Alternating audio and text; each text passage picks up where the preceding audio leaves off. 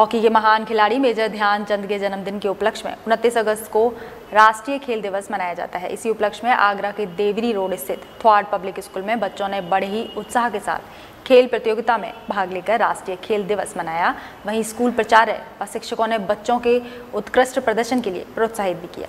थ्वाड international school Deori road Agra में उनतीस अगस्त को मेजर ध्यानचंद की जयंती के उपलक्ष्य में बच्चों ने बड़े उत्साह के साथ खेल दिवस मनाया।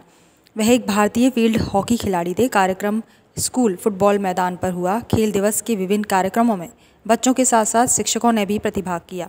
खेल दिवस के विभिन्न कार्यक्रमों में बच्चों के साथ साथ शिक्षकों ने भी भाग लिया। प्रिंसिपल मैडम के भाषण और घंटी बजने के बाद दिन की घटनाओं को गति दी गई। शिक्षकों के दो समूहों के बीच एक मैत्रीपूर्ण रस्साकसी का आयोजन किया गया। उसके बाद बच्चों ने विभिन्न खेल प्रतियोगिताओं जैसे 200 मीटर दौड़ लंबी कूद फुटबॉल खो खो और रिले दौड़ टेबल टेनिस आदि में एक दूसरे के खिलाफ प्रतिस्पर्धा की। अंत में प्राचार्य ने बच्चों को उनके उत्कृष्ट प्रदर्शन के लिए बधाई दी।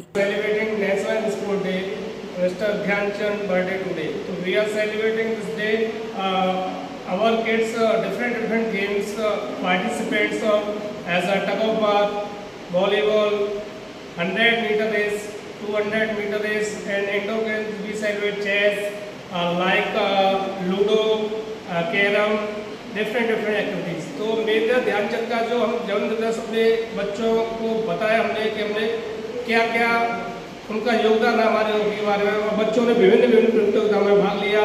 हमने बच्चों को खेल की बारीकियों के बारे में समझाया कि खेल का हमारे जीवन में क्या महत्व है। जो बच्चे प्रथम तथा द्वितीय स्थान विभिन्न विभिन्न प्रकार के सर्टिफिकेट्स गिफ्ट देकर उन्हें सम्मानित किया गया। कार्यक्रम को सफलतापूर्वक संपन्न कराने में विद्यालय के सभी शिक्षकों एवं कर्मचारियों का समान सहयोग रहा।